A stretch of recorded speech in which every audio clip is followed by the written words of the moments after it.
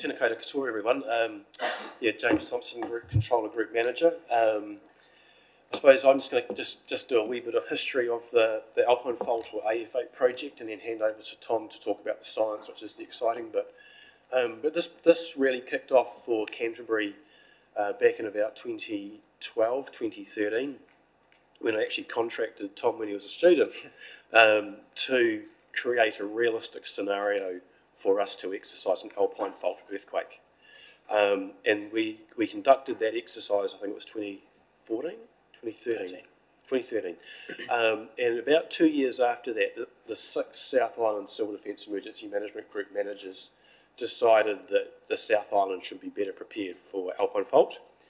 And at that point in time, they kicked off the AF8 project. So the AF8 project, once again, um, delved into the science to establish what it would look like across the South Island should it occur, um, including not just the, the hazard itself, the, the earthquake, but what are all the consequences of it. And so that piece of work was done, and then uh, uh, we, we used that to drive what we call the Safer South Island Alpine Fault Earthquake Response Plan. And that sort of details the initial actions that we would take over the first seven days at a very strategic level for the South Island. Um, it's the only project like this um, currently in New Zealand. There are others that are trying to sort of catch up in the Hikurangi space and um, Mount Taranaki space. Um, so it's been a real pr privilege to be a part of this program uh, and, and see a, that, that collaborative effort across the whole of the South Island and um, and more recently nationally. But I'll hand over to Tom to talk about it and then happy to take questions at the end. Tom. Thanks, James. Uh, kia ora koutou. Uh, my name's Dr. Tom Robinson, so I'm a senior lecturer at the University of Canterbury. Um, I'm part of the School of Earth and Environment, specialising in disaster risk and resilience. And so uh, my background is very much in alpine fault earthquake um, science, thinking about um, the the impacts really from start to finish of what an, earth, uh, an earthquake on the Alpine Fault would, would look like. So my PhD um, was a lot of the, as James said, a kickoff for, for AF8, um, which stands for Alpine Fault Magnitude 8. And I've subsequently worked quite a lot on the Kaikoura earthquake, currently working a lot on the response to Cyclone Gabrielle in the North Island, um, and interspersed did some work over in, in, Nepal following the Nepal earthquake. So lots and lots of experience um, working with earthquakes. I, am typically used to lecturing in front of a in front of a student audience and walking around, so you have to forgive me if I wave my arms around, um, pointing at stuff. But I've just got a few slides that I really want to kind of run you through and give you some background to the science of where we're coming from, um, to kind of show um, and hopefully convince you this isn't all just made up off the top of our heads. There's, there's some real uh, groundbreaking, world-leading science behind this and then take you through what an alpine fault earthquake might actually look like and what the consequences of that could be um, for the South Island and for New Zealand Inc. Um, as uh, in a in a more uh, wider sense. I hope to get through this reasonably quickly because I'm I imagine or I hope there'll be some. I hope you've got a lot of questions that you want to answer me, uh, ask, ask, ask us that we can answer. So I'll try to get through this reasonably quickly and give you time, uh, plenty of time to, to, to talk to us. So um, just to start off um, with a setting, um, I'm sure many of you are somewhat, somewhat familiar with this, but um, just, just to, to, start out, New Zealand um, sits uh, here. Uh, does that work? Yes, here at the bottom of the bottom of the Pacific. Um, and this red uh, ring that goes all the way around the edge of the Pacific, you may have heard referred to as, as the Pacific Ring of Fire, which is a colloquial term that's used. Um, and it explains the, the plate boundary that runs from the very tip of Chile all the way up through, um, through the Central Americas, through California, the famous San Andreas Fault, which I'm sure we're all familiar with, up through into Alaska, down through Japan, um, the main subduction zone that runs over Japan, through Papua New Guinea, and then here through little old New Zealand um, in the bottom of the South, South Pacific. Um, and so New Zealand is exceptionally complex um, tectonically um, for a variety of reasons. Um, main reason being is that that plate boundary or that Pacific Ring of Fire um, is offshore, uh, sorry, offshore of New Zealand uh, in the North Island. It then comes onshore um, into the South Island as the Alpine Fault and then disappears offshore um, as the Puysegur Trench that heads off down, down to Antarctica. So we're lucky in some respects in that um, geologically we are one of only two places um, in the world where you can go and see the Pacific um, plate boundary on land, the other place being the San Andreas Fault. Um, and here in New Zealand, uh, it comes ashore as, as the Alpine Fault, which you can see here, running from Marlborough down through to uh, about Milford Sound. And this is really important because when we look at the distribution of earthquakes across New Zealand, so this is um, all uh, earthquakes, it's quite an old plot now, but um, hasn't changed much. Um, this shows you the location of all earthquakes, um, shallow earthquakes, less than 40 kilometres below the surface, um, over a 10-year period between 1919 and 1999. It would be the same if we took 2010 um, to 2020, for instance. And you can see that distribution of, of earthquakes follows the plate boundary um, very nicely. So we have off, lots of uh, deep offshore earthquakes, then transitions on, line, on land, and you can see, um, define the Alpine Fault um, pretty well. And then we have the Puysegur Trench there. And so this is, this is important in New Zealand context because this means we're talking about a large plate boundary fault. And plate boundary faults are uh, the biggest, the most active um, faults in the world. So they can sustain the largest earthquakes, and they can sustain those earthquakes relatively frequently on a geologic um, time frame, so several hundred years, um, as, as we'll see. And again, to put this in perspe perspective, something like 60 to 70% of the world's major earthquakes occur in that red zone, and something like 80% of the world's uh, most dangerous volcanoes occur in that red zone. Um, and again, as you can see, that's, that's where we uh, end up existing. So let's, let's just dive straight into to the Alpine Fault and, and, and what that is and why we care so much about the Alpine Fault. So the Alpine Fault's regularly referred to as the world's straightest line. If you ever look at a satellite image or Google Earth image um, and you look at the west coast, you'll see a nice clear straight line running from Milford Sound all the way up to the Lewis Pass. And that, that is the Alpine Fault that you can see uh, defined here um, as this uh, red line. And one of the things we're very, very keen to understand about the Alpine Fault is when has it suffered earthquakes in the past so that we can understand when it might suffer um, earthquakes um, in the future. And so until um, about 2015, 2016, we didn't know an awful lot about Earth, Alpine Fault earthquakes. We knew maybe three or four of the most recent events. But in, um, in the mid, uh, mid 20 teens, um, we found a site um, that looks something like this. You don't necessarily need to know the details of, of the geology of this, but this is a really important site um, globally for understanding earthquakes. And the reason for that is it actually records previous earthquakes on the Alpine Fault. We very rarely actually see earthquakes recorded in rock. And so what you can see here is you can see these recurring patterns. So we have a grey um, rock uh, overlain by a brown rock, and then another grey rock, and then a brown rock, and a grey rock, etc. So we get these zebra stripes. And we know categorically that each one of these transitions from uh, brown to grey must be an alpine fault earthquake because at this site, um, the alpine fault ruptures, it blocks a river, and so you instantly change the type of rock that you're depositing. And so by looking at the, the boundary between those two and finding um, leaves or uh, anything that we can really carbon date, we can get very, very accurate dates of when that fault ruptured.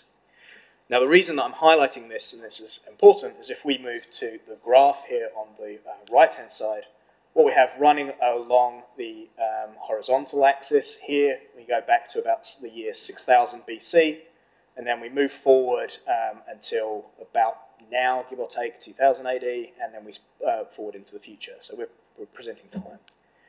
Each one of these little squiggly graphs on here is showing you a dated alpine fault earthquake. And so the size of that, that little squiggle is telling you how confident um, we are in when it occurred. So basically the width. So for instance, if you see this one here that I'm pointing at, it's a reasonably wide squiggle, so we know it happened around about 2000 BC, give or take. Some of these, particularly more recent ones, you can see we're very, very confident on exactly when they happened. So the key thing to take away from this is the number of squiggles that we've got on this graph. So we've got 28 um, earthquakes in total, going back about 8,000 years. That's the best earthquake record in the world. We know more about um, when the Alpine Fault has ruptured in the last 8,000 years than we do places like the San Andreas or even um, parts of Japan. So we know that for the last 8,000 years, the Alpine Fault has had 28 earthquakes. Um, going back beyond that, it's almost certainly had many more earthquakes. And there is no reason to suspect that it's going to suddenly stop just because we're here and, and studying it. That's the, that's the key takeaway from this. The other key takeaway is um, arguably more scary, um, and why we're here today, is if you look at the pattern you can draw an almost perfectly straight line through all of those earthquakes. And if you could keep projecting that up to where the next earthquake would be, it's around about there, around about the year 2000-ish AD. And so what we really want to know is what's the time between these events? Uh, over the last 8,000 years, how long has it been between each alpine fault earthquake? And if you take the average number of years between each of those, it works out to be about 298, let's say 300 to, to round it up with some, with some error of around about 60 years, give or take, so human lifespan. Um, so we think this alpine fault suffers a major earthquake every 300 years. And importantly, it's exceptionally consistent, almost metronomic in how often it sustains big earthquakes. The shortest period between uh, alpine fault earthquakes is 140 years, and the longest is about 500 years, but the average is 300. We know very accurately that the last earthquake was in 1717 AD. So some quick maths takes us to 2017, which was five years ago, uh, or six years ago coming up for. So that's, that's where we find ourselves. We are right at the time when we would expect an alpine fault earthquake to occur based on the average going back the last 8,000 years. That leads us to believe, um, using some fairly complicated statistics, that there is a 75% chance the Alpine fault will rupture in the next 50 years. So to, put that in perspective um, for you, there's a very good chance that this earthquake will happen in either our lifetimes and almost certainly in our children's lifetimes. So I have a three-year-old daughter. I fully expect her to be alive for an alpine fault earthquake over the, her, her lifetime. That's, that's where we're at with that. So, again, I'll just go back through those key messages there. That we have evidence of you know, 27, 28 earthquakes over the last 8,000 years. It has a long history of rupturing. That is not going to stop just because we're here. The next earthquake is inevitable. And the average time between earthquakes is about 300 years, with the last one occurring slightly more than 300 years ago. So that puts us right at the precipice of when we would expect an alpine fault to, to occur. So let's, let's look at what alpine fault earthquake might actually be and what it, what it might look like, because now we know that one is inevitable and is likely to happen within many of our lifetimes. We kind of want to know how big and how bad that's going to be. So again, looking back at those 27, 28 earthquakes um, over the past, we can tell that the vast majority of them were in the region of about magnitude 8. Now, that probably doesn't mean a lot to, to anybody outside of my small um, office um, in the university. So let me, let me put that in perspective, what we mean by magnitude 8. Magnitude 8 would be um, vertical displacements, so the ground instantaneously moving something like 2 to 3 meters. So for instance, um, if the fault were to run through the middle of this room um, and we were the side being lifted up, we would go through the ceiling. Um, and a displacement of 8 to 10 metres horizontally. So um, James and I would probably disappear out that window um, somewhere in several seconds. Um, and to continue putting that perspe perspective, we can think about this in terms of the amount of energy that this would release compared to previous earthquakes in New Zealand, of which we've got several to choose from. So if this little green dot here represents the energy or the power that was released in the magnitude 6.2 earthquake on February um, 22nd, 2011, that did all the damage um, in Christchurch. This would represent the September 4th magnitude 7.1 earthquake that occurred in Darfield. This is the 2016 November earthquake and 7.8 in Kaikoura. And this is the uh, a magnitude 8 earthquake on the Alpine Fault. So you can see, um, while it's only you know 1.8 magnitude steps bigger than the, what happened in Christchurch in 2011. This is a logarithmic scale. The energy goes up very quickly. Um, we're talking about an earthquake that could be a thousand times stronger than what happened in Christchurch um, in 2011. That's the magnitude of this, this, this event. The other way we can think about this is in something called intensity, so how powerful the shaking would be. And I'm going to show you some maps of the, the, the intensity of shaking that we would expect across the South Island. Um, where we start to get concerned is when we start to get into what's called MM intensities of 7 and above. That's where we start to see damage. Um, so in the next few maps, you'll see that'll be the orange hot colours. We would expect the entire South Island would um, feel sort of MM5 and above um, levels of shaking. To put this into perspective for you, every single New Zealander will feel the Alpine Fault rupture. All 5 million of us will feel it when it ruptures, even those in Auckland. If you happen to be on holiday in Sydney and you're in the, uh, a high story um, building, you will probably notice the building swaying from, from the shaking. People will report feeling this in the east coast of Australia. That's how large um, it will be.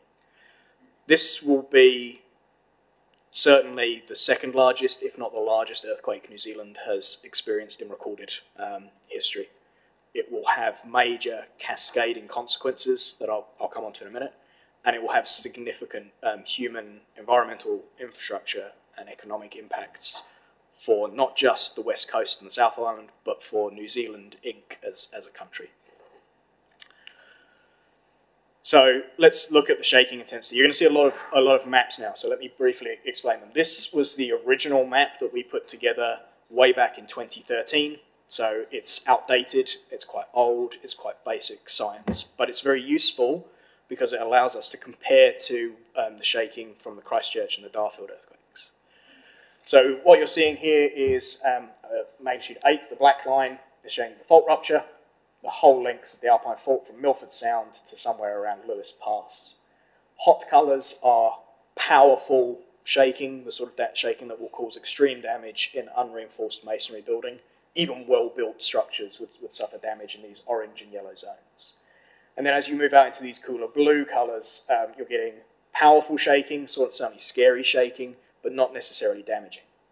I'll come on and show you the updated um, models in a minute, but what I want to do is, is, give you a sense of this. As you can see, this is the entirety of the South Island getting very strong shaking. To put this in perspective, that is the same colour scheme and the same scale of map, the extent of shaking from the Darfield earthquake um, in 2010, um, and that is the same scale and, and colours again for the 22nd of February uh, magnitude earthquake. Um, so you, you can see that the uh, bottom earthquake before the Kaikoura earthquake was the most significant earthquake we'd experienced in New Zealand. Huge damage to one of our major urban centres. Um, and you've got that tiny, tiny little dot there of, of sort of red, uh, sorry, orange and yellow colours. Whereas for alpine fault, this is the entirety of the coast and most of the alpine region as well. As I say, that, that that's slightly out of, of date. Um, and one of the reasons that's, that's out of date is we've, we've subsequently realised that the direction that the earthquake uh, ruptures in is very important. And that's because in this instance, we assume that the epicenter, which is often what we think about earthquakes, would be somewhere around Mount Cook. So energy goes both south and north. However, if this earthquake were actually to occur somewhere near Milford Sound, the epicenter would be quite rural, quite far away from many of our population centres. So you might think that that would be a good scenario. That would actually be our worst case scenario for very good reason, because while the epicenter would be here a long way from, um, from, from major population centres, all of the energy is going to rupture north for about 400 kilometres. And so all of the energy is going to keep on travelling.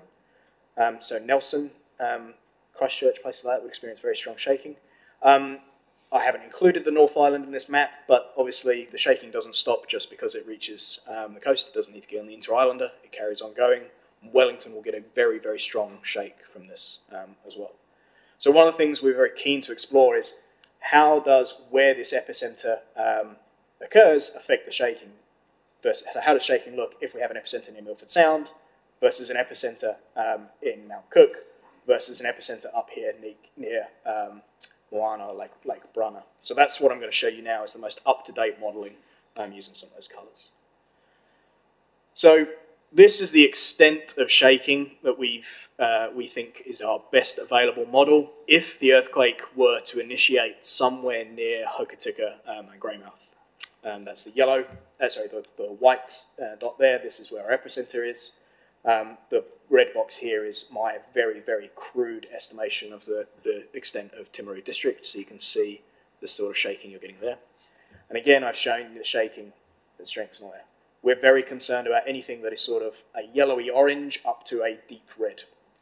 As you can see, the west coast as expected, but even here in Timaru, we have damaging to heavily damaging um, shaking um, occurring in parts of our, our district, particularly up um, in the mountainous region.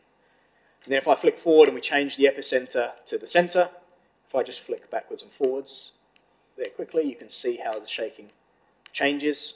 And the reason for this is now, in this scenario, we have all of our energy heading south off towards Antarctica, where, oops, excuse me, whereas in this scenario, only half of our energy heads towards Antarctica, half of our energy heads north towards Wellington. So we get a lot more powerful shaking around Greymouth. But you'll notice again, looking at Timaru, there is distinct changes um, in shaking. And if you think about Timaru uh, as the town, which, excuse my geography, is round about there, you'll notice in the, this scenario, we're in this sort of slightly damaging to damaging.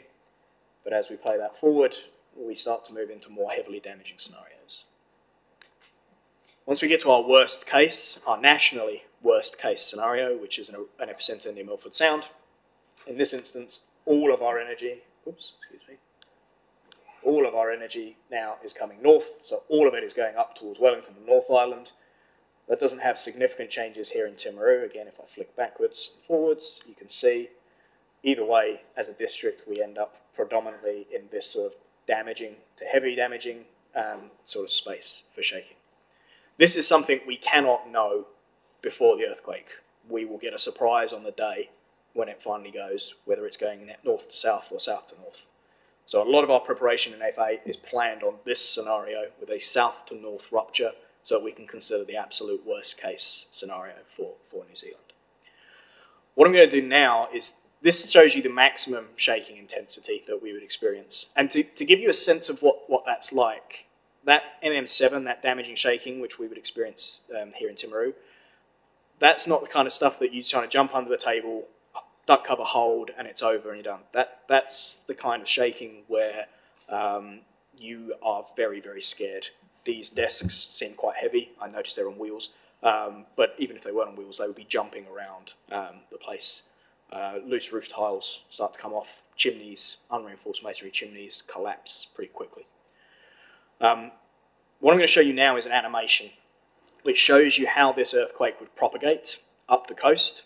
And it's going to show you how long shaking lasts at particular areas. And it's going to show you um, the relative intensity at different times. So it's played at four times speed. So what that means is one, uh, yeah, one, one minute is 25 seconds um, in the animation. And you're going to see the topography jumping up and down. And the amount it jumps up by is the intensity of the shaking. It's, it's exaggerated for effect, but you'll see the waves pass out through New Zealand, and you'll also see how long these areas are shaking for um, as we go forward. It's a video. I saw them testing it earlier and it did work, so fingers crossed. yep. So the earthquake started uh, here, just around Milford Sound, and you can see the waves of shaking starting to propagate out and you can see the in intensity uh, going. Timaru is nicely uh, mentioned here. So we are now 55 seconds, a minute after the earthquake started. Here in Timaru, we're none the wiser. Waves haven't reached us yet. Queenstown's just been hit by the shaking, and now it's moving up through um, the Waitaki Lakes. At about this point, minute 30, minute 40 after the earthquake ruptured, the waves reached Timaru. And now the key thing for you guys is to watch how long Timaru shakes for.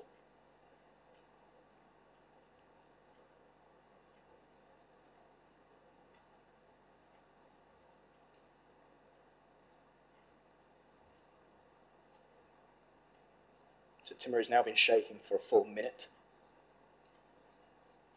Christchurch has now been shaking for a full minute. Those waves continue to propagate up to the north. Shaking's just about stopped now here in Timaru. That's nearly two minutes after that shaking um, began. Christchurch, two and a half minutes, still shaking as those waves make their way now up to the top of North Island and continue across the Cook Strait to um, Wellington. So there are two things we really worry about with shaking. One is the intensity, which I've just talked to you about and showed you. The other is duration. The length of shaking is really critically important. Um, I normally ask my students this, but I'll, I'll, give you the answer rather than ask you questions on the spot because you're not being assessed. Um, actually, no, I will ask you. Does anyone have any uh, any sense of how long the really fat, strong shaking from the Christchurch earthquake was in 2011? It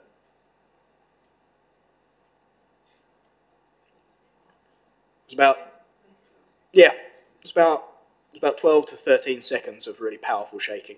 Um, I'm sure James will tell you that felt like an absolute lifetime. Felt longer. Um, in, as a city in Timaru, and there, that shaking here would go on for probably two minutes. Two minutes is a long time, um, especially if you're listening to me rabbit on about this sort of stuff. It's a particularly long time, but it, it is a very, very long time. That's a lot of time to get yourself under the desk, realize what's going on, and realize it's not stopping, and get quite scared. The difference we would um, experience here is because that shaking is going to go on for so long, it's not going to be as sharp and as violent as you might expect over on the west coast. It will feel quite long wavelength, be like being out on very rough seas, like you're in a boat. So the whole thing will be shifting around, um, up and down, side to side, um, for a long period of time. There will be a lot of people very scared um, by that by that shaking. That's the earthquake. That's um, in many ways, where the story starts. The problem with big earthquakes um, like this, in mountainous, um, complex terrain like New Zealand, is that they trigger secondary hazards, very complex secondary hazards. So, for instance, if you shake a building, that building can often fall down. But if you shake a mountain, the mountain can also fall down. It performs the same way. So if we have a big earthquake like an alpine fault, event. That earthquake could trigger landslides up in our mountains. Our mountains are quite narrow, so if a big landslide comes down and falls into a river, it could block the river, forming what's known as a quake lake. Um, that lake is completely uncontrolled, so when it's filled up, it reaches the top, it overspills over the top of the dam, and it erodes a channel. That allows more water to run through, which erodes more of a channel, which allows more water to come through, and eventually it fails catastrophically and you have what's known as a, as a dam break flood. That's just one example of a possible cascade um, that, could, that could, could occur from this. There are a whole heap of hazards. And the important thing here is that for these big earthquakes in mountains, often it's these secondary hazards that are actually far worse than the shaking. As bad as that shaking may seem, landslides um, in mountains can, can be um, far worse. And we have reasonably good examples um, in the past of, of, events where the secondary hazards have been more, more damaging. So Christchurch is an excellent example. Liquefaction hazard was arguably more damaging. Kaikoura, um, $2 billion worth of damage to roads from landslides. Tsunamis, Japan, Indonesia, good examples where the earthquake was not the major um, player. If we look at the cascades we could get in the Alpine Fault earthquake, you can't see the details, you don't need to worry, but each of these arrows points to a different hazard that could trigger. This is the earthquake, aftershock, surface rupture, liquefaction, landslides, etc., etc., etc. This could happen over a period of seconds during the shaking, but it could also extend out to be months to years to potentially decades worth of um, hazards. And I'll take you through um, some of those now. Of course, we've also got to think about aftershocks. It's New Zealand, we're in the bottom of the Pacific, we have weather events. They won't stop just because we've had an earthquake, and fire is a big issue that we will need to consider as well. So as I said, I'll quickly run through those. Those are just four exa recent examples where we can think about where the secondary hazards were much more um, devastating than the initial shaking. Uh, Christchurch is our example here. And this is Ohau Point um, up on State Highway 1 in, in Kaikoura. So let's look at what we think the secondary hazards from an alpine fault event might be. Um, this map is not showing you intensity of shaking. it's showing you probability of landslides occurring, where hot colours is very high probability and cool colours is, is very low probability. So as you'd expect, we don't really have much threat from landslides in the Canterbury Plains. But if we look across um, our entire alpine region, it's extraordinarily hot. Very, very high likelihood of landslides throughout that region. To give you a sort of sense of numbers of what that might mean, um, currently Cyclone Gabrielle, I'm actually doing a lot of mapping for that. We've mapped 10% of the area affected by Cyclone Gabrielle. We've mapped 50,000 landslides. Um, the Wenchuan earthquake in China in 2008 was a similar size to this in similar terrain, caused anywhere between 60,000 and 100,000 landslides. The Nepal earthquake in 2015 was 30,000 landslides. So that's the sort of order we're talking on. Fortunately, our, the alpine regions are not particularly populated, so that's not a major issue for us. The biggest concern is where our critical infrastructure lies in the South Island. And so if we look and overlay, oh sorry, let, me uh, first give you some examples of what those landslides might look like. These are very big, large landslides. These are not small little things falling out of retaining walls. These are entire mountains collapsing. Here's a good example from um, Nepal. Um, and here's a longer, much longer term problem that can arise from these events. So if you drop a landslide into a river, the river wants to take all of that sediment away. And so it carries that sediment out of the mountains. And as soon as it reaches flat land, it deposits all of that sediment. The reason we have the Canterbury Plains is because of sediment eroded from the mountains, carried by the rivers, and dropped on the Canterbury Plains. That's what makes them so flat, that's what makes them so fertile.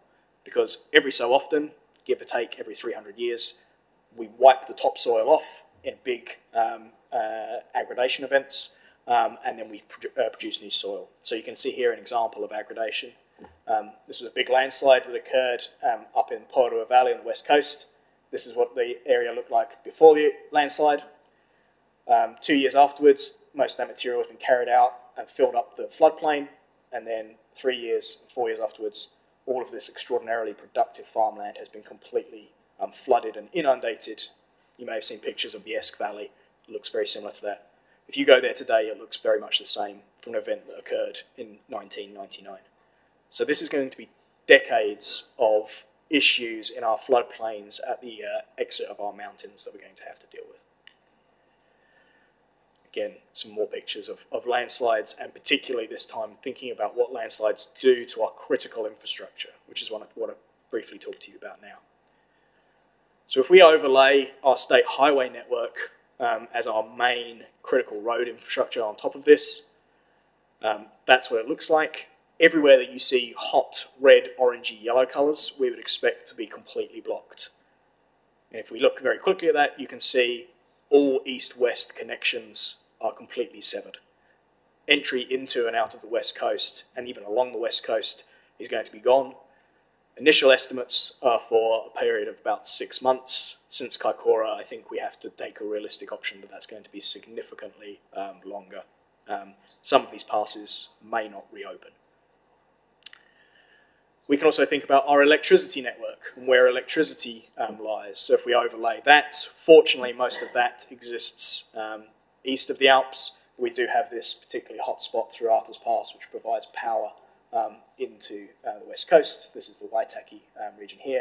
And the key one is the line that makes it, snakes its way all the way up to the top of the um, South Island and connects us to the North Island. So we would expect instantaneous loss of electricity, certainly to the South Island, possibly nationally, but key thing for us here on the east coast is our network is reasonably robust. We don't have mountains to, capable, uh, to get over. Our power system should, key being should, should be able to function and provide us. West coast, it's a very different um, situation. And then finally, telecoms. What's the first thing everyone does when there's a very big earthquake? Tweet, Instagram, TikTok, I don't know what the current um, current gist of it is, but that overloads our network. If all 5 million of us start texting at once, the network gets overloaded, it crashes. We're going to lose telecoms probably for a few hours before they gradually um, come back on board. Um, they will be intermittent as we have power issues, and then we will also have to deal with trapped people, particularly people trapped on the west coast, both locals and tourists. If this happens in the height of the summer season, we can have 4,000 people in Franz Josef alone, 2,000 people at Milford Sound, however many people in Queenstown, that are all going to need to be evacuated out of those regions um, elsewhere. So I'm sure I don't want to, well, that's where I'll leave you with a very cheery note for, uh, for a Tuesday morning. Um, I realise it's a very whistle stop tour of, of where we're at. This is years and years of science, but um, I want to give you guys the opportunity to ask us some, some questions, if, if that's okay. Oh, sorry, I was going to ask, do you have any good news? do I have any good news? I think the good news is um, we've already started thinking about this. We've already started planning for this. So this is not going to catch us by surprise. There will be surprises on the day, but um, you know, the more we prepare for it, the more we talk about this. I appreciate this is scary, but the more we talk about this, the less of a surprise it is, and the more able we're going to be to, to deal with it when it happens. That's that's the good news. The good news is also we're a long way from the Alpine Fault. The shaking here will be strong, um, and it will be long, and it will be very scary. But we're not going to anticipate widespread devastation in, in Timaru. Um, things like unreinforced masonry buildings, brick chimneys will collapse. We probably will see liquefaction in some of our, particularly around Washdyke and some of our, our reclaimed areas or drained areas. Um, and we will see damage. But we're not going to see the levels of damage that we would expect um, on the west coast, say, for, for instance. We'll have our own issues to deal with, but um, we're not going to be the, or Timaru, sorry, is not going to be necessarily the focus of an alpine fault um, event in that sense. I know that's limited good news, but it's good news nonetheless. Do we have any questions from the floor? Councillor Piddington. Uh, Tom, would you be able to go back to the maps? Shaking maps? Yeah, the shaking maps, um, wherever they were. Give me the animations. So, see where it's orange there? which is heavily damaged. Is that topography? Why, why is that come down that way? Yeah, so that would be river channels um, and basin, um, what we call basin effects. So the um, the Canterbury Plains are this this weird little basin of sediment that's been deposited out of the mountains. So what happens is the reason that when the waves from that video, when they enter the basin, you see that they they aren't as high as everywhere else, but they stay for a long time. And that's because the soil is able to move around a lot. So the shaking isn't able to as efficiently pass through. So that's why it takes a lot of time of shaking. It also means that it sort of, um, so shaking in this case would move north, it would actually hit the Port Hills and then bounce back. So you'd actually get the effect of the waves coming back. So you get constructive interference where they build up on top of each other. You've then also got some of the rivers in there that change the shaking profile. So it's it's a complex interplay of what's going on at the surface and what's going on under underground um, that, that, that explains um, that shaking there. Second and last question. You talked about movement up and down and across. Would that obviously affect the west coast yep. much worse than it would out this way? Yeah, so the fault displacements I was talking about would be right on the fault. So in somewhere like Franz Josef, that's what you'd see. Out here, we wouldn't see anything like that at all because we are 80 plus kilometres away from the fault. Most of that motion would be in the shaking. Um, you would probably uh, it's hard to know exactly how much you would move, but you'd probably see no major permanent displacement of the ground in, in Timaru other than through things like liquefaction. Uh, we, you've cheered me up a wee bit. Thanks. I'll go Councillor Parker and then me Nigel. Um, one, one's more for interest. When um, you showed the slide when it hit Hokitika, it went south, not north. Mm. Why, my question is why? Why would it not travel north? And my second question is about tsunami risk. We had um, tsunami expert here last year, I think, he, and they thought that alpine aid wouldn't affect any tsunami. What are your thoughts on that? Yeah, great, great questions. So the reason that we don't think it would rupture um, too far to the north from Hokitika is because that's where the Alpine fault blends into what's known as the Marlborough fault system. So at that point, you have the Hope fault, which travels up the Taramakau River and reaches Kaikoura, um, and then becomes the, the, subduction zone. And then you have a series of, of other faults that progress north. It's a very, very complex tectonic region. So the fault is um, the fault is hindered. It basically can't rupture further north without moving on to a different fault. That's possible, and we've seen that in other earthquakes. Turkey is a very the recent earthquake in Turkey affected four or five different faults, so that that's possible. Kaikoura affected twenty different faults, so we can't rule out that if it ruptured there, it would move on to the Hope Fault and spread.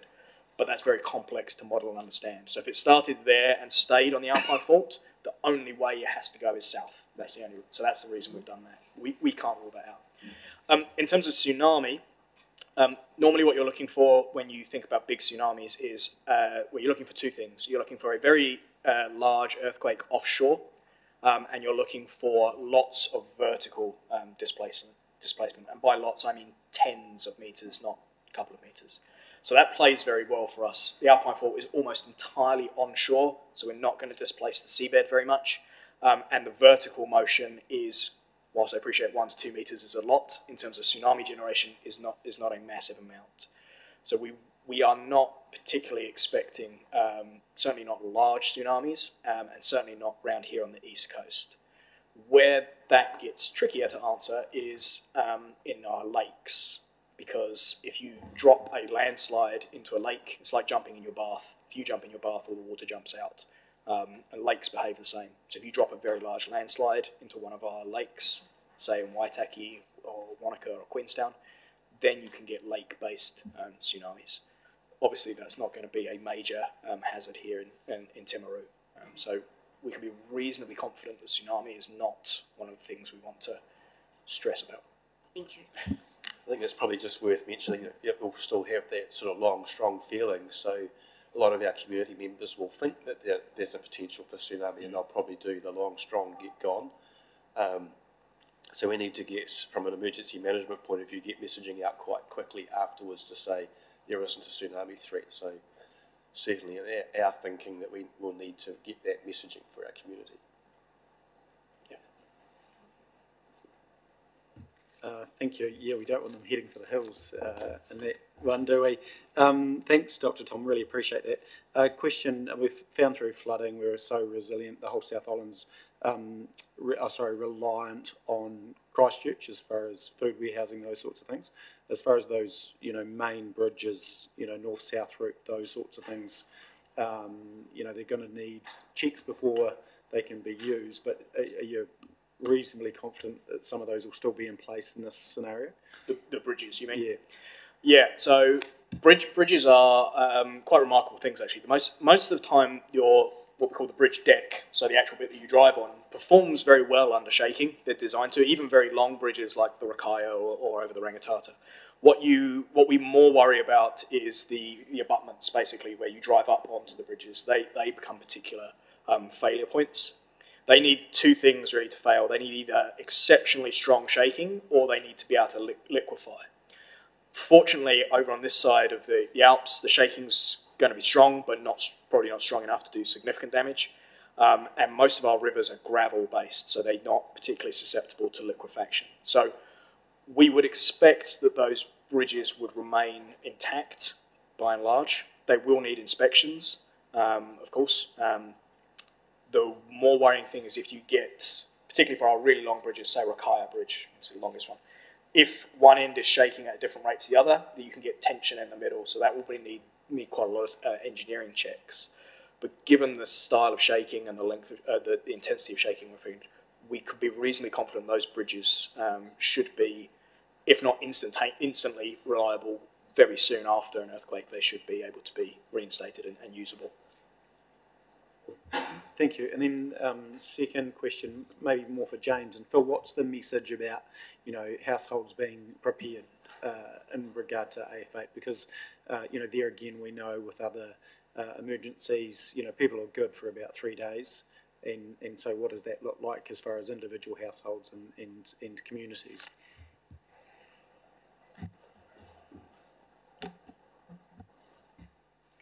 Million dollar question. How do we get them prepared? Um, I think if we can get them for three days, it's a good start. Um, but I think these conversations we're having with our communities is that this is going to be a significant event and long duration. So the more planning, thinking, talking we can do now, um, especially you know, family dynamics, when people are scattered across the South Island, that, that's another dilemma. Um, but yeah, no, there is no silver bullet in my eyes. It's just the more if someone if someone spends ten minutes to think about it, that's ten minutes more prepared they'll be. We can't expect people to hoard. We can't expect people. You know, there's a cost of living crisis. So, you know, some people are struggling for day to day and we try and throw this at them. So it's tempering that message. But it's around how we behave and how we act, that community resilience, the repurposing of things. You know, we've all got barbecues, we've all got camping equipment, so how can we repurpose some of that stuff instead of just thinking it's too hard? I think um, just to add to that, one of the things, if I was encouraging people to be more ready, it would probably be about water storage. Um, most of the other things, you know, we'll, we'll be able to get our way through, but if we end up with damage to our water systems, that, that would be a, you know, quite a critical thing. So, you know, it doesn't take much to get a few bottles and have them filled up and change them every couple of years. Just on that note, at our climate change meetings, I, uh, somebody suggested you put, uh, water in your freezer, and especially if you've got a chest freezer, it makes your freezer more efficient and then it lasts longer and, and you've got it there. Um, what about building owners? Is there any specific advice for building owners, or, you know, you talked about un, um, unsupported masonry buildings and things like that? Anything they can, they can do to be, to be ready, other than the normal earthquake strengthening that's required? I think the, the key thing is, you know, the earthquake prone building process that all councils have to go to and identifying those earthquake prone buildings and then working out what's appropriate for your particular district as far as, you know, the use of those buildings and the strengthening of those buildings. So I know, you know, I know in Waitaki, you know, sorry, Waimate, they've identified quite a few and they're going through sort of strengthening programs down there with those building owners. Um, I mean, if you if you were ruthless about it, you'd say we don't have re- unreinforced masonry buildings in this country anymore. You just get rid of them, but that's not that's not reality. So you have to work with those building owners to to work out how you make them as safe as we can. Councillor Booth? Thank you, um, uh, Tom. Just a um, couple of things. Uh, I believe NIWA have developed a facility in, in Twizel to assist with information around um, AF8. I was just wondering, perhaps explain what its role is. Um, and the other thing is Timaru's uh, built on be, um, basalt rock. Um, is there an advantage being on basalt rock compared to a few other um, towns and districts? Um, I'm, I'm actually unfamiliar with NIWA's um, site up in, in Twizel that's um, around AF8. I don't know if you're familiar with that one. That's that, that's that's new to me. Um, I'll, I'll, I'll admit, so I can't I can't speak to that. I'm, I'm afraid. Um, in terms of being built, built on basalt rock, yes, it's very much an uh, well, it's both an advantage and a disadvantage at the same time. So it's an advantage in that your chances of liquefaction are very low. Being built on hard rock is, is very good for that.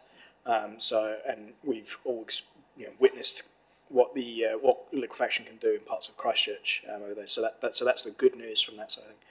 The, uh, the the bad news, I guess, from that side is when you're on hard rock like basalt, what it can do is it transmits the shaking much more effectively. So the shaking is perhaps not as long, but it's much stronger. So that that's the trade-off. You can either have long shaking or you can have strong shaking.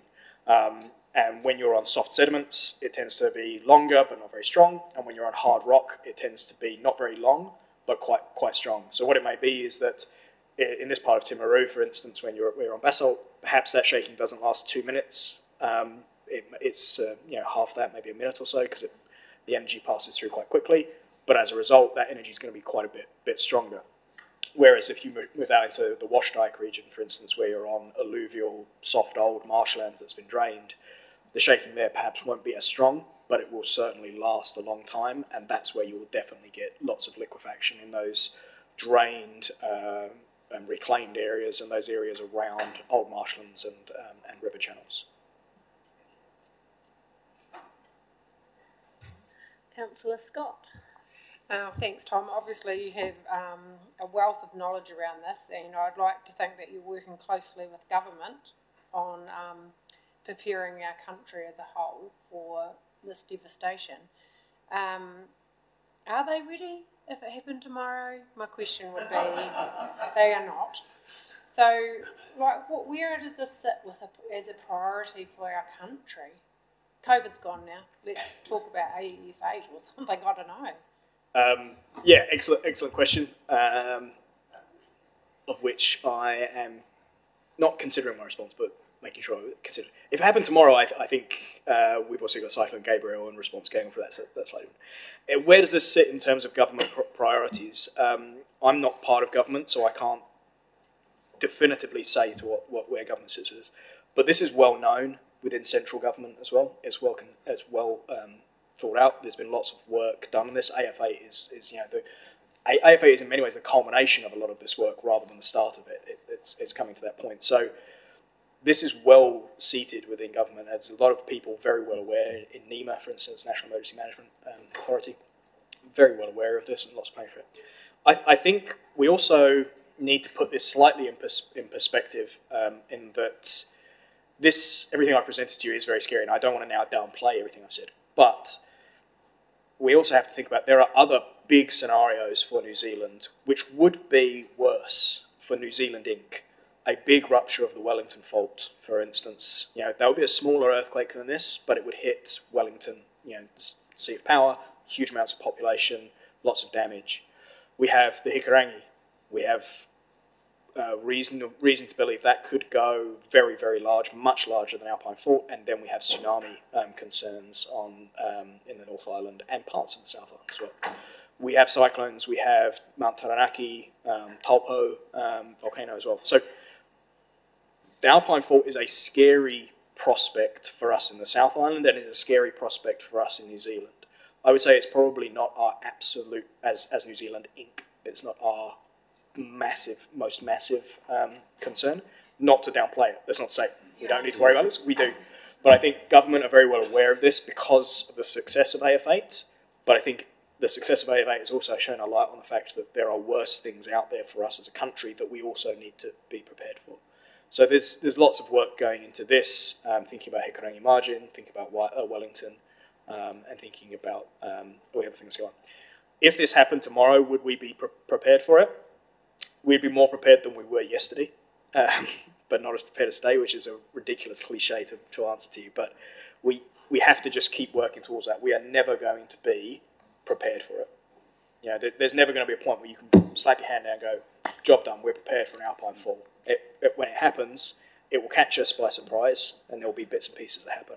And so we just need to iteratively keep making ourselves more prepared, keep having conversations like this, um, keep coming down and presenting this, talking to local um, populations, and making people, sure people iteratively get there. Because, as I say, you know, tomorrow will be better prepared than we are today, um, and keep moving that way. And I think that's the approach we have to, to take to this, because it's too scary to do all at one go. Not just add, add to that question about the government. Um, what they're doing is doing a piece of work on creating a um, catastrophic plan handbook, Yep. um, which takes into account these these hazards that Tom's just talked about, and you know they are well understood. Um, just as an example, within that handbook, it will it'll challenge the way, or it's challenging government to think about the problems that get created. So, for example, we know if there's lots of, um, or when someone you know someone passes away, there's a a really strong coroner's process to to make sure that cause of death can be determined. Um, but if you've got lots of people who have passed away, how do you do that? Um, so this handbook will take that into account and take us through a pro- process um, and how to manage that and how to manage our electricity generation system, our roads, our telecommunications, um, our fast-moving consumer goods, our groceries, how we'll distribute those they're all being thought of and they'll all have a part in this handbook. Not for any one specific hazard, but for these big catastrophic, what they're calling catastrophic events for New Zealand. Um, so that's a that's a good step forward, and um, while it's a bit scary, um, actually looking forward to seeing those because that will then help drive how I plan and how Phil plans uh, here in Canterbury and in Timaru. I actually have a similar question for Phil. Um, at point seven in the report, you talk about the uh, response plan that you're working on with Mid South Canterbury. So, how far through that work are we, and, and how ready are we if something happens tomorrow or next week? I don't, yeah, just to repeat the same things, I don't think we'll ever be ready, but we've, we've had six workshops. Uh, the attendees have all taken something away to work on within their own agency, and we've got a better understanding of how we would all help each other and work together. So, uh, yes, without, you know, we've got not a lot on paper, but we've got a lot of um, assumptions tested and disproven, a lot of urban myths, one's going proven, disproven.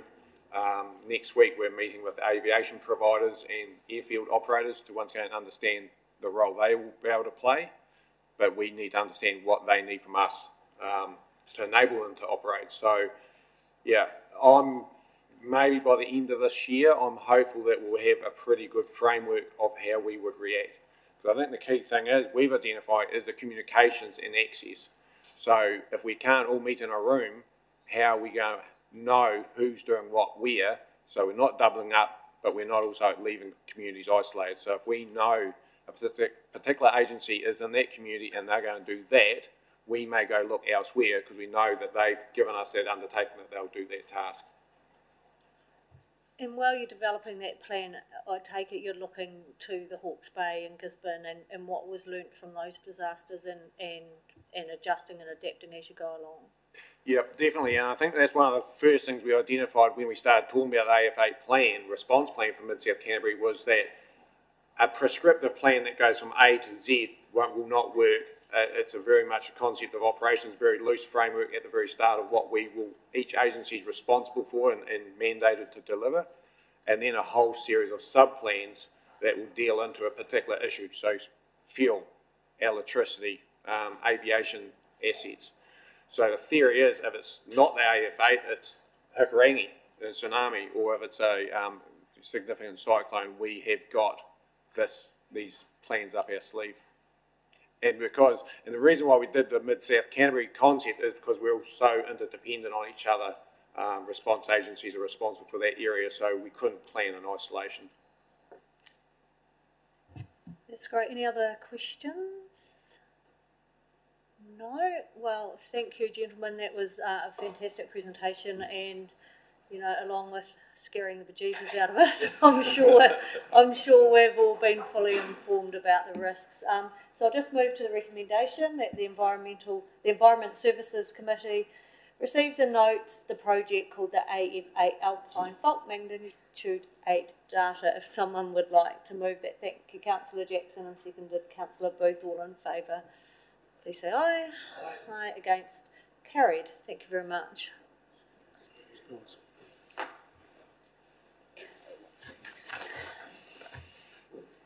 So I think uh, the last um, item on the agenda is just going back to the matter of minor nature that was uh, raised by Councillor Booth. So I'm just going to ask Mr Cooper, and apologies for putting you on the spot before the meeting, but if you could just um, outline for us the district plan process versus um, the process for a pri- private plan change, and then what are the barriers uh, and what levers, if any, that council have to speed that process up to ensure that we're enabling.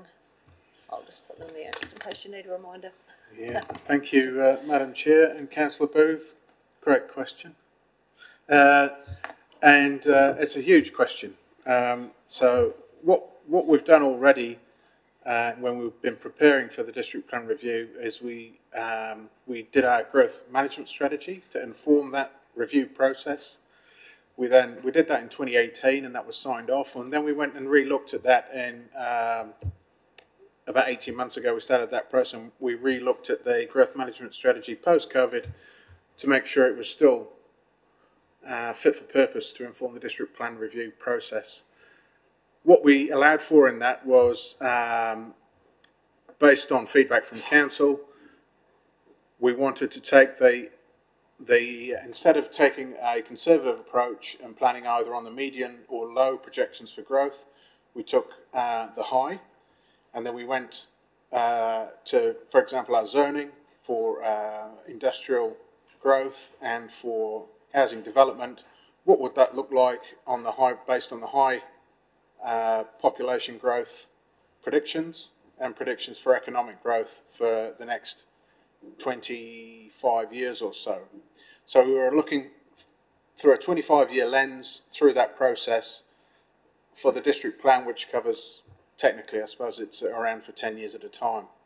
But so how we did that was we developed those future development areas to signal to the market and to Timaru District that um, we intend to grow into these areas and zone these areas at particular trigger points.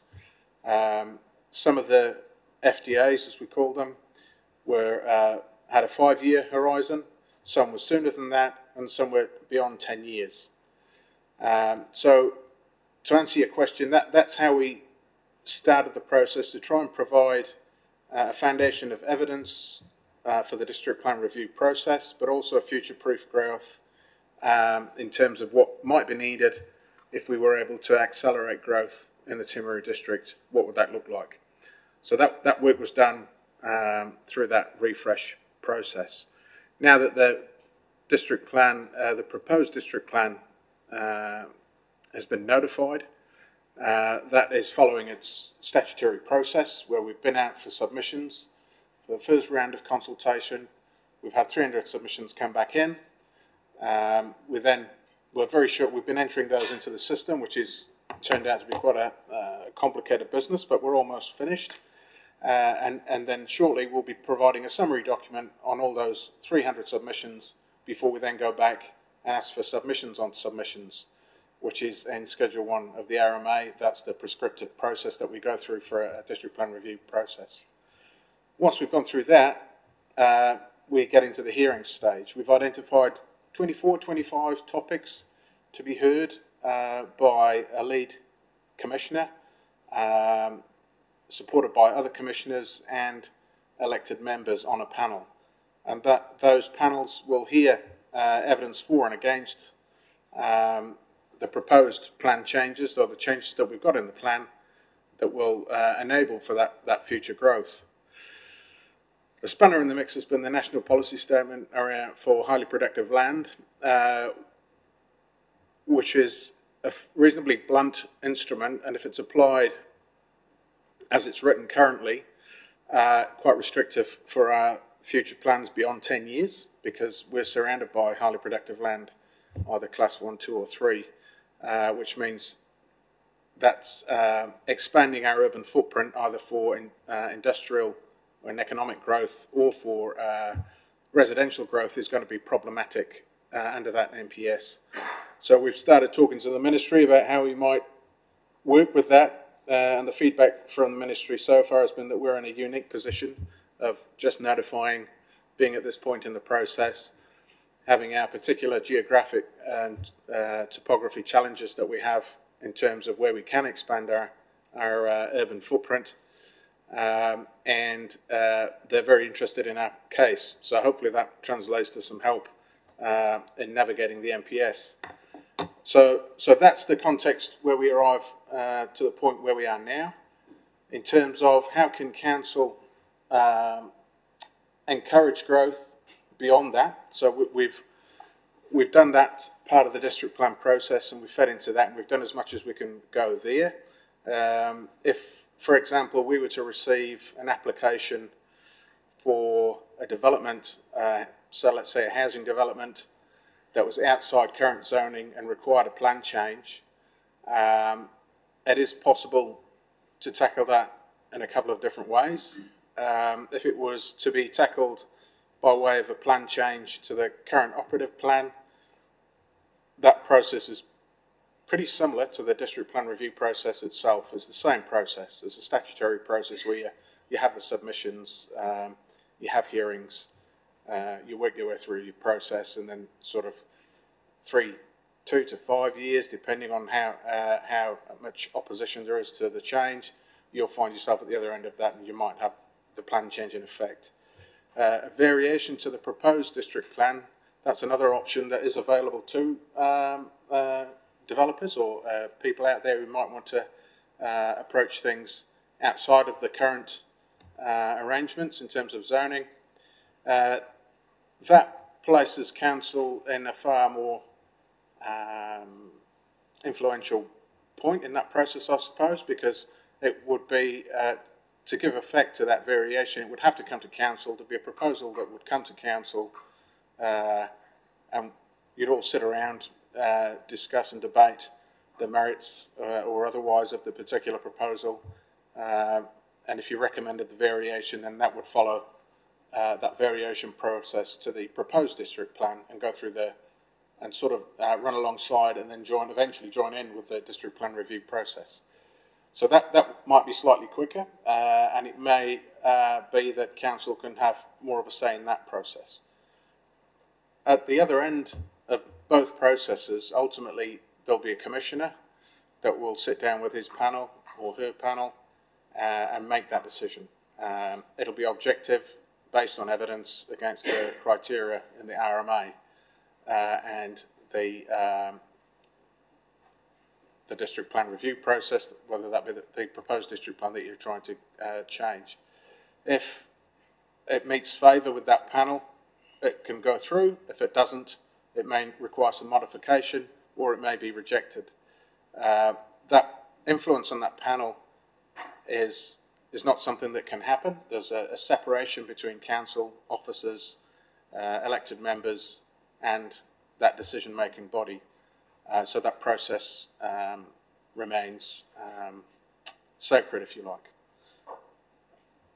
So, so there, there are, broadly speaking, uh, the two options that would be available for uh, a development that would be proposed to be on land that currently is zoned rural, for example, or has some other uh, zoning to it at the moment.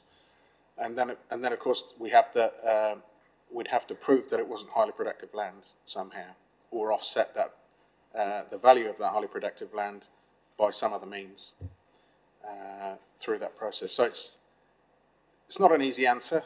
Um, and if you were to ask me what uh, levers council uh, might be able to have within that process, I would say uh, the best influence that you could have would be through a variation to the proposed district plan. Of which we would be able to have a paper presented to us and we could have a vote in saying this is what we want to do? Yes. Okay. Now, if I, I may just go back and give a little bit of background, um, as in what I, why I've raised this. Um, obviously, I'm, I'm on the Venture Timaru. I'm, I mean, I was, I, I've been on the board for something like five years now, six years. No, anyway, um, and it's always been our biggest identifiable problem to the growth of our town, of the lack of, of uh, suitable land for um, um, housing um, in, in our district. And unfortunately, while the people are using the uh, the growth numbers as the reason why not.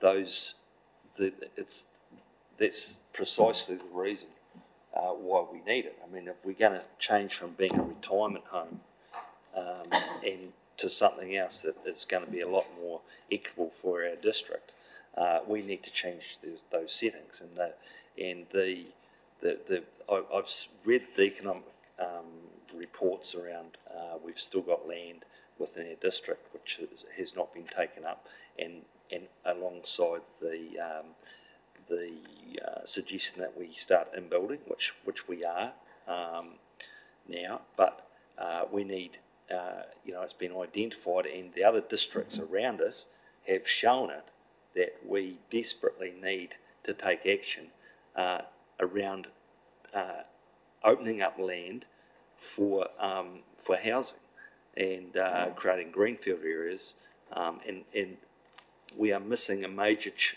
uh, a rung in our ladder for people getting on the property ladder, people coming to live in Timaru, rent a house, um, and therefore bring their family and enjoy all the benefits that we have to offer, such as jobs and lifestyle. Um, and while we keep looking at these reports to say we're not going to get any growth. We're precisely the problem why we're not getting growth because we're, we're simply encouraging the continuance of being a rest home um, and not actually um, encouraging families to come here. And, and it's a major issue. And we, we've just had our strategy meeting for um, our, our economic development and, and it was it was front and centre again. And yet we keep getting told we can't do things. Well, we've got to change that, and I'm not sure. I guess the reason for bringing this up is that we need to make sure while we're, we can see what the issues are, we need to make sure that the whole council is in behind uh, what what we need to do uh, to change that that environment. Thanks, Councillor Booth. Uh, I would say there are other options to influence outcomes. Um, jobs, if, if economic conditions changed dramatically and, and that pressure uh, was placed on the housing market, money talks, as they say, and then plan, change fo- uh, plan changes follow. Uh, so, so if a developer sees an opportunity um, and the demand is quite clearly there, that pressure, that uh, pressure from economic growth is uh, uh, is pushed and transferred onto the housing market, and prices go up markedly, for example, driven by that pressure. You would then have the evidence to then have that uh, plan change, but more importantly, you'd have the market conditions that would bring the dev- developers in.